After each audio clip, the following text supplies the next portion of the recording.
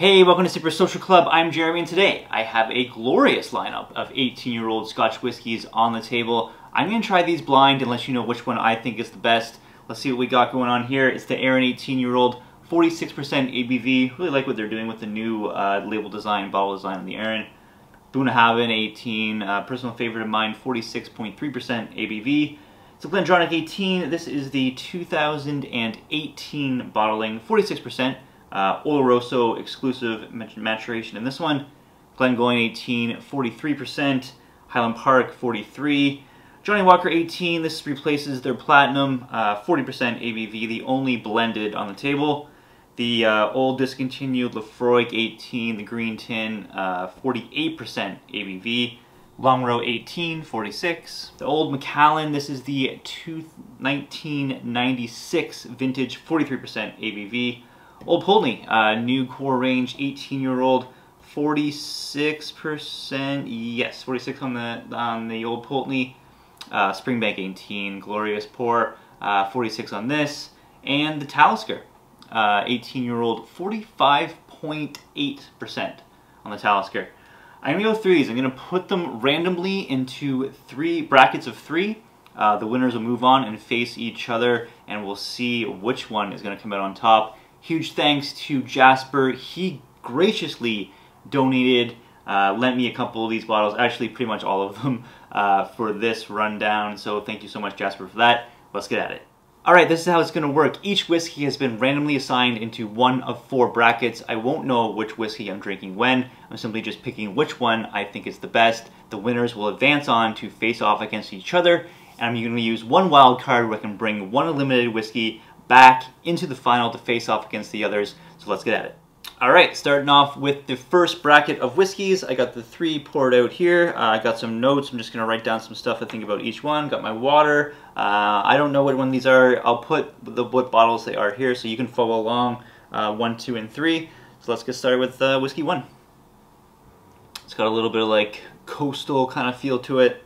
Some nice um, saltiness. I definitely say this has a little touch of peat, I'd say. Mm, okay. Definitely got some Campbeltown uh, notes to this one for sure. Yeah, that's good. Yeah, I think I know. This has got. This has either got to be the Springbank or the Longrow, I'd say. Man, that's good. That is good. Really good stuff. This is going to be fun. This is going to be such a treat. Glass two. Not getting too much on the nose. Very light. Definitely some fruitiness to this one, like orchard kind of fruit. Very, very light. Not much going on with this one, I'd say. Whiskey number three. Some nice uh, vanillas and uh, a little honey in here. Mm. Some nice uh, characteristic on this one on the finish. Really good. This is good. Definitely uh, glass one and three are my favorites. Number two, wasn't really feeling that much. Um, not sure what it is, but definitely lighter in um, in comparison to uh, to one and three. Um, three was pretty solid, but I think the clear winner on this bracket for sure is number one. Uh, so I'm going to go with number one. Uh, wild card, I don't think I need to bring anything back. It was a pretty clear decision on this one. So I'm going to go glass number one, moving on. Let's see the results. Bracket one here, results. See what I'm advancing.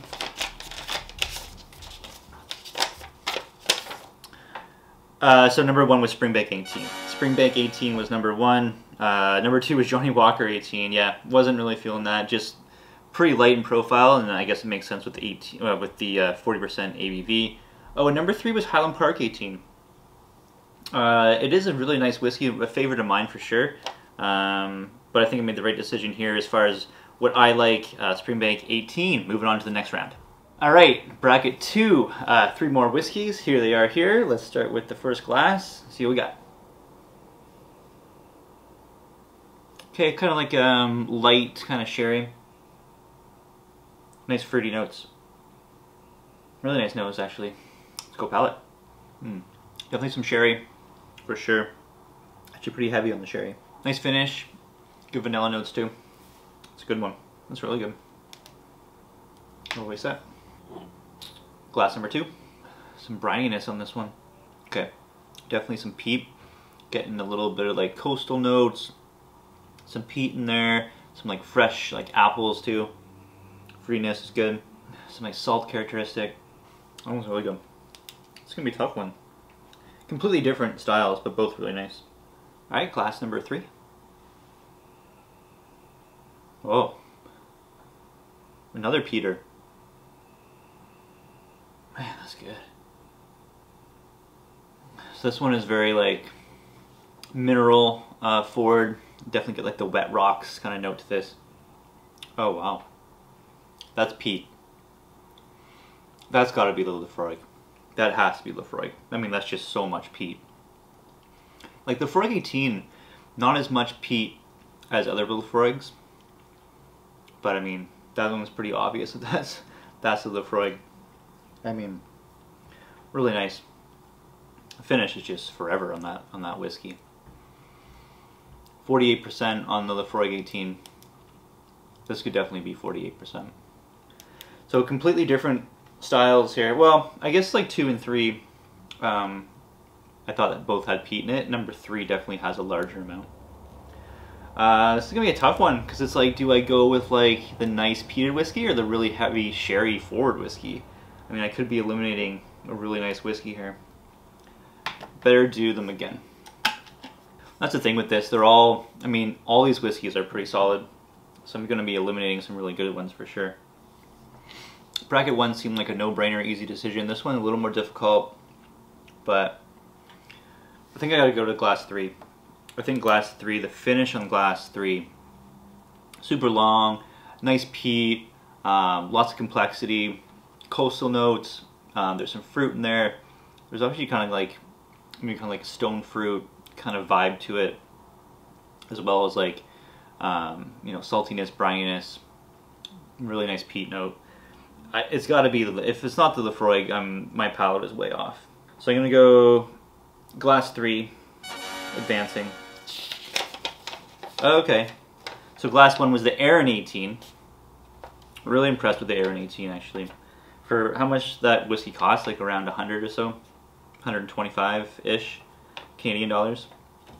Can't go wrong with that. Uh, number two is the Longrow 18, and of course three was the Laphroaig 18. Yeah, the Laphroaig was pretty obvious, I think. Um, and then number two, the Longrow makes sense because it did have some peat in there. All right, well, sadly, the Arran and the Longrow 18 are gone. The Laphroaig 18 advances. All right, bracket three, three more whiskeys. Here they are. Let's see what we got. Glass one. Nice sherryness to this. I guess pretty much all of these have a sherry influence for the most part, I think. Nice rich sherry. Lots of like prunes and figs on that one. Really rich. That's really good. Really, really nice. Number two, another great sherry nose. So that one, not as like robust of like the prune fig note, but a little bit of it. Some nice chocolate in there. Again, that's a really nice one. Some similarities and some differences in those first two. I think I would prefer one over it as of right now. Let's try number three. So a little different on this one. Not as heavy sherry, I'd say. Nice creaminess, really rich vanillas. So like the first two, more sherry bombs, especially the first one. Third one, nice amount of complexity to it. That is really good. So, this is a tough one. I'd say that one and three are my favorites at this point. This might be a wild card round. Might have to select two out of this because this first one is just super super rich sherry. Prunes, figs are so good in it. Chocolate. I mean, I'm, I'm sure one of these is probably a Glendronach and one's probably a Glengoyne. I don't know what the other one is. Well, Number one's got to be a front runner for sure. It's just like that super rich, rich sherry. Really good stuff. So I'm going to advance number one. Now the question is, do I want to make number three my wild card and advance it also? Because it is also really solid.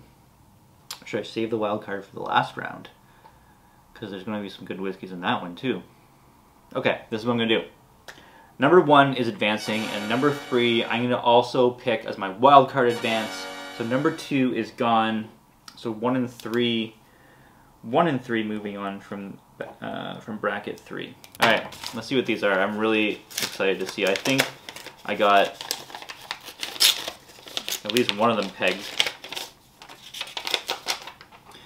All right, so the first class is Macallan 18. Yeah, I was thinking he was either maybe, well, I was actually I thought it was GlenDronach, to be honest with you. Um, wasn't picking up that Macallan characteristic, but I got all the rich, rich sherry from it. Number two was a Glengoyne. I thought maybe it might have been. And number three, the Bunnahabhain 18. So I, I didn't peg it for Buna 18, I just knew it was super awesome. Uh, so that's awesome. That's I'm really happy that I advanced uh, those two whiskeys going forward, all right, this is shaping up to be pretty freaking epic final. Uh, let's move on to the last bracket. All right, fourth bracket. Uh, here are the whiskeys. Process of elimination, I know what's left here, but I don't know what order they're in. Uh, let's find out. Class number one.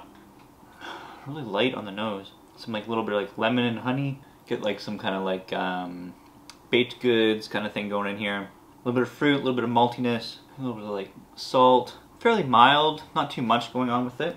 Let's go glass two. Yep, lots of delicious sherry notes, some fig, some plum, chocolate, kind of like a Christmas kind of cake going thing going on.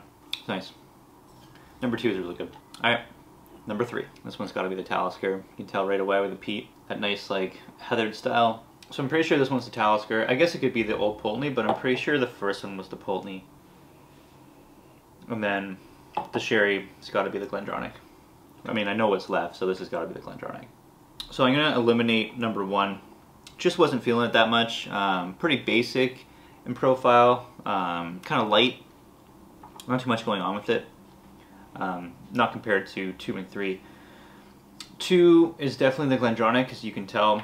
I mean, there's lots of sherry aspect going on with this. Pretty sure number three would be the Talisker, and it's got more peat than the first one, so I definitely say that this one would be Talisker. I'm not sure about Pulteney peat level. I think it's very, very low, if any, right? Does Pulteney have peat in it?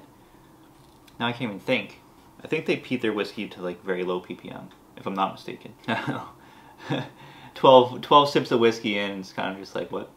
Um, I am taking time out between each one, obviously. Reset the palate, drink some water, um, reset everything.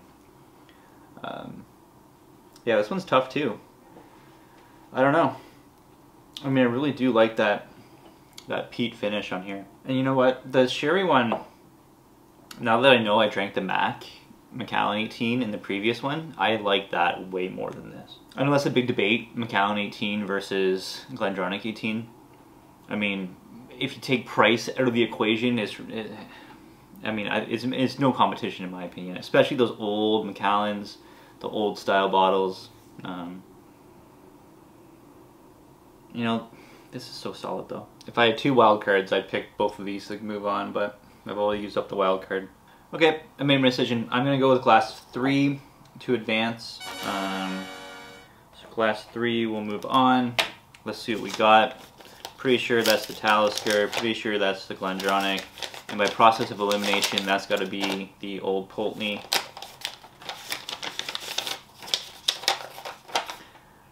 And I was right, yeah. Pulteney, GlenDronach, Talisker. So Talisker is moving on. The GlenDronach, I mean, really good whiskey, but I mean, just my memory of drinking uh, the Macallan the previous round, I like it way more. I, I mean, it's just got more complexity, more boldness, more richness. Even though it's bottled at a lower ABV, um, it delivers for me. I find this like little kind of note in GlenDronach sometimes, a little like uh, bitterness almost. Uh, the Macallan doesn't have that. So the Talisker is moving on. Uh, we got an awesome final here. So Talisker.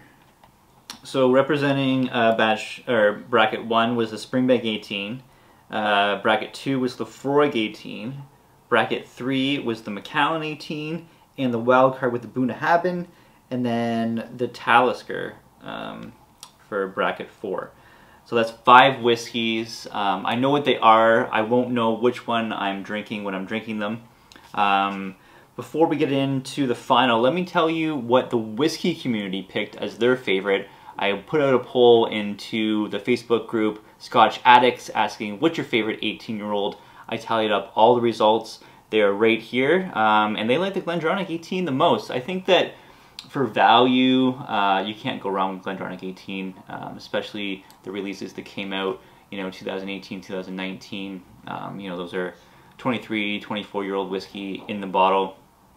Um, but we'll see what happens uh, in my final five coming up now. All right, the final five. This actually kind of worked out exactly how I pretty much thought it would. Um, these are definitely my favorite five. I guess you could probably interchange the GlenDronach with one of these here or there, but for the most part, uh, these would I say would be my top five. Uh, asterisk number six, GlenDronach somewhere around here as well. Um, so obviously I know what the last five are. I don't know which order I'm drinking them in. Um, so yeah, let's see what we find out. This has been super awesome so far. Um, this is uh, glass A. Alright, well that's the Laphroaig. I mean, that's so obvious and this is going to mess up my palate for the rest of it. Um, I'm not going to drink this one first. Let's not drink the Laphroaig first. Let's go to B. I mean, when you have something super peated and the rest of it's like, you know, not heavily, as heavily peated, you can tell right away. Alright, let's go with this one. That's like melted vanilla ice cream. A little bit of twist on the end too. Having a hard time picking up notes on this. I just know it's really good.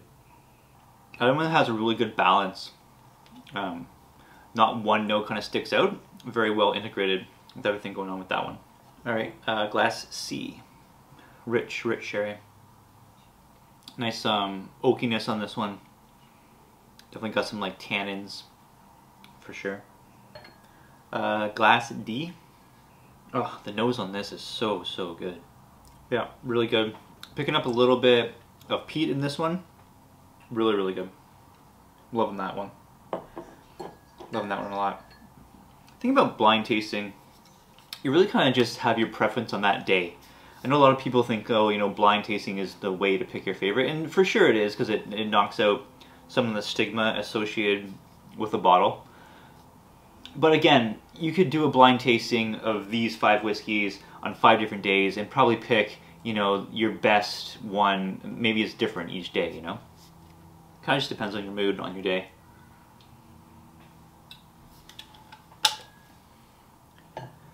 The best way to do tastings is do it blind multiple times. If you get the same result, then you know for sure which one you like the most. Class E.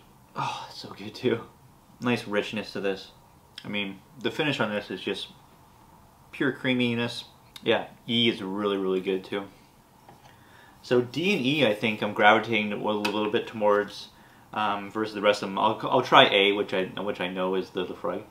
Man, the nose on this on this is so good too man. okay, that is phenomenal. So I think I'm I'm leaning towards more of the peated stuff right now. Um, so glass B and glass C, um, in my opinion, didn't really have any peat in them. Um, so I'm assuming one of those is the Macallan for sure. Probably just looking at the color, it's C. Um, but it's not going to be the Macallan for me. I'm not going to be picking that as my favorite because it's not holding up to the rest of these. Um, it's definitely between A, D, and E. So I know this one is the Laphroaig. I'm assuming one of these is Talisker and one of them is Springbank, which means that one of these three is the Boonah. So I'm to go try D again and E again. This has been a lot of fun. Just drinking really nice 18-year-old scotch all day. Again, big thank you to Jasper for supplying pretty much all these bottles. It's to be a really tough decision. I mean, I pretty much could say all of these are equally as good. But this, this Laphroaig, I mean, I think it's got the most going on. It's definitely the boldest out of um, all of these. I'm not necessarily biased against Laphroaig 18. Um, I mean, I don't think I would pick it as my favorite going into this. I haven't drank it in a while, actually, to be honest with you. I haven't had Laphroaig 18. This bottle, it's about here on the fill level. Um, I've had it for a long time, sipped occasionally. Haven't gone to it in a while. Brought it back out for this. Alright, let me deliberate a bit more and uh, I'll make my final decision. Alright, I've gone through nosing and tasting a little bit more. Um, I'm going to say that glass B is my fifth place finisher. So fifth is B. I'm to say that glass C is my fourth place finisher, so fourth is C. And then it really came down to, um, you know, third place was close between these two. So I'm going to say that E will be third, but I'm going to go with, uh, I guess that makes D second place, and coming in first is Glass A, which I believe is without a doubt the Laphroaig 18. Here's the results. Let's find out what we have here. You guys already know, of course, because I have it here.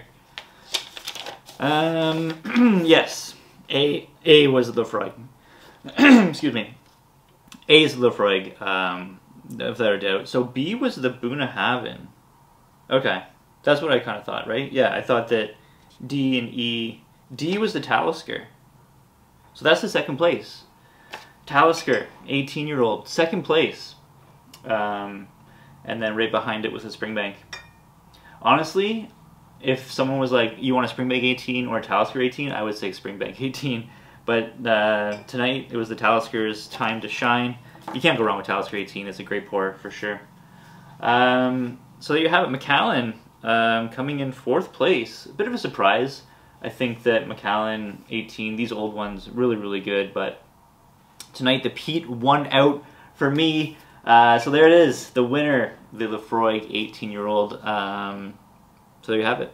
So there's my top five results doing this semi-blind. Um, if I wasn't doing it blind, I'd probably rank them this order. So a little bit different. Um, overall, with all 12 bottles, I would probably rank them unblind in this order and this is how it compares to the whiskey community. Pretty interesting results, um, kind of cool. I might do this again sometime in the future. Maybe switch up the order a little bit more, uh, bring in some different bottles, see if we get the same result or maybe something different. Alright, so there you have it. Let me know what you think of the results. Is there anything on this table that you would consider your favorite 18-year-old Scotch whiskey? And what did I leave out of this lineup that you think could compete with the rest of these bottles? Let me know in the comments down below. If you like this video, give it a thumbs up. If you want to support the channel a little bit more, check out Patreon. You can win some amazing samples. Until next time, guys, have a good one. Cheers.